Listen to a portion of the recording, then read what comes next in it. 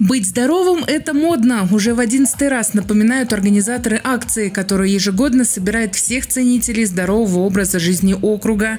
В этом году ее посвятили защитникам, выполняющим задачи в рамках специальной военной операции. На главной площади города развернулся настоящий спортивно-патриотический праздник.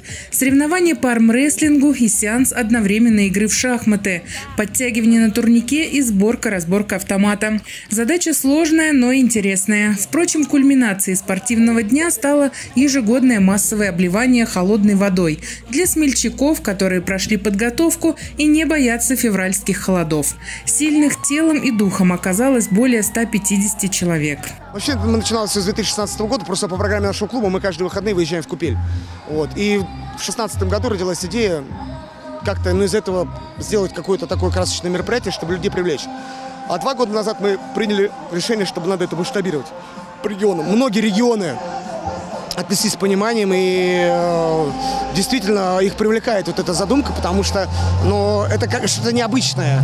То есть везде там люди закаливаются, а мы тут, получается, как бы объединяем людей. Красногорск стал главной площадкой проведения акции, к которой уже не первый год с азартом присоединяются жители всей России. В этом году к массовым обливаниям вместе с красногорцами приступили более двух тысяч человек из 18 регионов от Сахалина до Калининграда.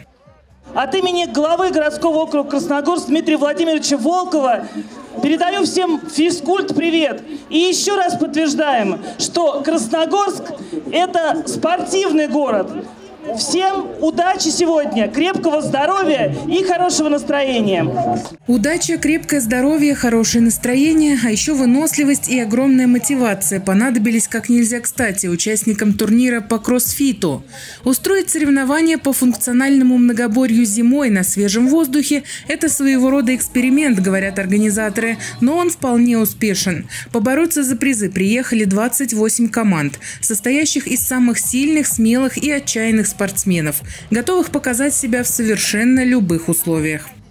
Комплекс э, по кроссфиту состоит из, так скажем, таких базовых классических упражнений. Это и толкание, переворачивание шины, это швунги, подъем гири.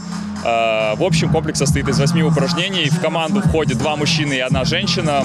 И они соревнуются между собой, кто быстрее выполнит этот комплекс. Мероприятие очень классное. Прикольно то, что соревнования зимой перебираются на улицу, заставляют людей почувствовать себя в некомфортной обстановке, вне зала. Новые условия, новые трудности, ну и, как обычно, новые победы. Я занимался раньше регби и кроссфитом начал тренироваться именно для того, чтобы улучшиться на поле. Но в итоге меня заманила больше эта движуха. Для победителей турнира по кроссфиту предусмотрен внушительный призовой фонд. Ну а участники массовых обливаний получили положительные эмоции и такой заряд бодрости, которого вполне хватит до следующей акции «Быть здоровым – это модно».